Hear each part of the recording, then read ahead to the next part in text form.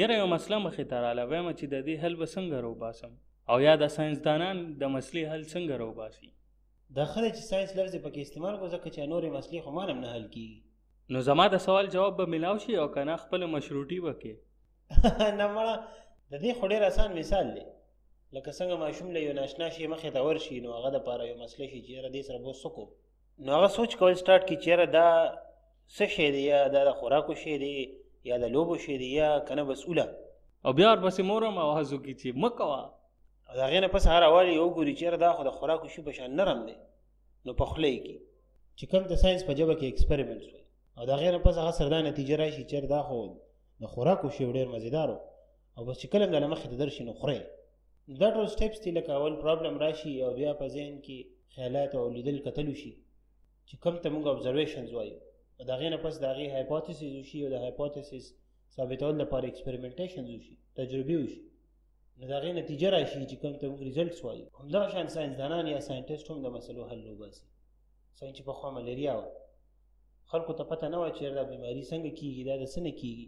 خو ساينسدانان دا دوه درې خبرې نوٹ کړې وي یا غي ابزرویشنز کړي چې د چا هم ملیریا نو په غمه تب راځي یا یخنی راځي هم دین علاوه غي دا هم ابزرو کړو چې په کوم علاقې کې طالبونه یا ولاړې وبزياتي نو د هغه علاقې خلکو کې ملیریا زیاته نو دا خبره ثابتول لپاره یې په مختلفو خلکو باندې وبو مسکلي وایي دا نوټ کړل چې د اوبو څکلو نه دي ته بیماري نه لګي بیا غي دا وایي چې کیدی شي دا اسخه هوا په وجه باندې کی په دغه خبرې په بنیاد باندې دی بیماری له مریلیا نوم ورکو ملیریا دوه ایټالیان لفظ نه جوړ شوی ده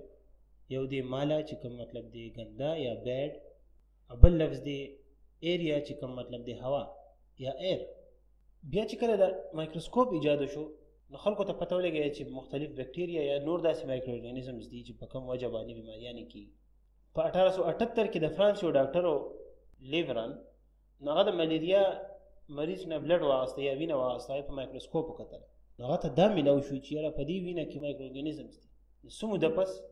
دغه مایکرو ارګانیزم له نوم ورکو پلازموډیم دې ابزرویشن نه پس ساينسدانانو بلا شي هایپوتیسس پیش کړ چې په کوم کې یو دا و چې پلازموډیم په وجه باندې ملیریا کیږي دې هایپوتیسس په بنیاد باندې ساينسدانانو دا وویل چې کو پلازموډیم په وجه باندې ملیریا کیږي نو هر یو ملیریا مریض په وینه کې پکار دي چې پلازموډیم موجودي هم دغه منطقي خبره یا لوجیکل خبره ته مونږه ډیډکشن دې هایپوتیسس او ډیډکشن په بنیاد باندې ساينسدانانو یو تجربه وکړه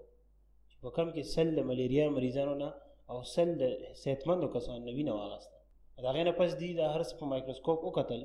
نو ته پته ولګی چې څومره ملیریا مریضان دي نو د هغې په وینه کې پلازموډیم موجود او څومره هم صحتمند کسانو د په وینه کې پلازموډیم نه موجود د هغې نه دا ثابته شوه چې څومره مریضان دي د ملیریا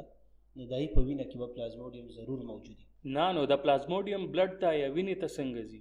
لکه ته خو سم ساينسدان یې هم دغه سوال ساينسدانانو په ذهن کې راغی چې چې دا پلازموډیم څنګه انسان بلډ ته رسي ځان یا د ملیریا مریض په وینه کې څنګه موجود دی نو په 1883 کې امریکایي ډاکټر البرت فریمن افریکانوس کینګ اے اف اے کینګ هم ورته ویلي هغه دا ابزرویشن وکړ چې کم خلک بهر سملی نو هغه ته ملیریا زیاته کیږي په نسبت هغه کسانو چې کم کور کې یا کمره کې دنه سملی او دا یې هم ابزرو کړي چې کم خلک لوګي خوا او شا کې سملي نو هیته ملیریا نه کیږي او هغه خلک چې کم مچردانی کې سملي یا په یو جال کې دننه سملي نو هیته هم ملیریا نه کیږي نو دې ابزرویشن په بنیاد باندې اف ای کینګ هایپوتیسس سجست کو چې موسکیټوز یا د ماشو په وجه باندې پلازموډیم انسانانو کې دننه ځي همدې هایپوتیسس نه پس دا ډیډکشن یا دا لوجیکل منطقي خبره مخه ته راغله چې څومره پلازموډیم دي دا انسانان ته ماشو په ذریعه ځي خو په دې خبره باندې یا هایپوتیسیس باندې یو بل ساينسدان رونالد روز ایکسپریمنټس هغه ایکسپریمنټس د په